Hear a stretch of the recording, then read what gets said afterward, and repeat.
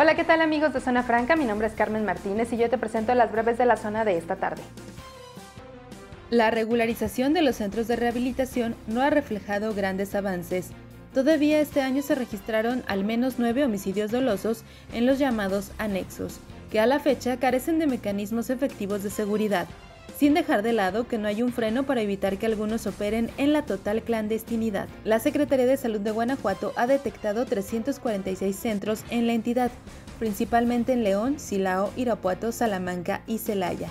Solo 14 están certificados ante la Comisión Nacional contra las Adicciones, cifra mínima desde que las autoridades voltearon a ver los anexos en el 2020 y todo a consecuencia de la violencia que dejó un saldo de 43 muertos, 26 de ellos asesinados en julio en un centro en Arandas. Para servir de una mejor manera a la sociedad, las y los integrantes del Poder Judicial se capacitan continuamente y de manera especializada. Por ello, se ha desplegado un programa operativo conformado por 317 actividades académicas, con 5.403 horas de capacitación efectiva en las que participaron 23.127 personas.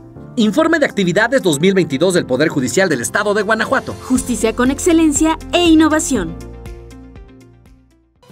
En promedio, la red de acompañamiento de aborto en León recibió al menos 30 solicitudes de mujeres para ser asistidas en la interrupción de su embarazo, por lo que serían alrededor de 360, en su mayoría de León, quienes lo solicitaron en 2022. De las peticiones que se reciben, son poquito menos de 20 los acompañamientos que al final asisten, informó María Alcántara, integrante y acompañante advirtiendo que no hay una estadística certera en los abortos en el estado de Guanajuato, pues estos números solo son los que recibe la red leonesa. Hay otras acompañantes, médicos y centros de salud que también ayudan a interrumpir los embarazos.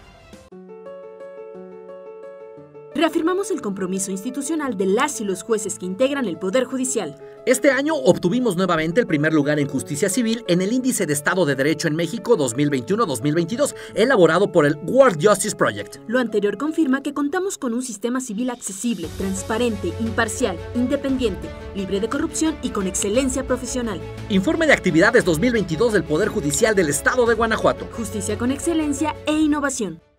El clima en México este miércoles será dominado por los fríos, vientos, lluvias focalizadas y heladas, así lo informó el Servicio Meteorológico Nacional de la Comisión Nacional del Agua.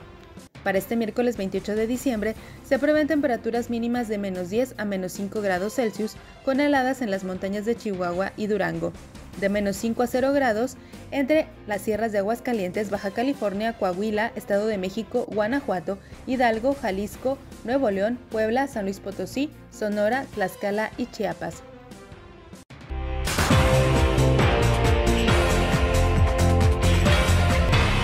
Quédate pendiente de todo nuestro contenido en zonafranca.mx y no te pierdas el siguiente bloque donde te tendremos información importante.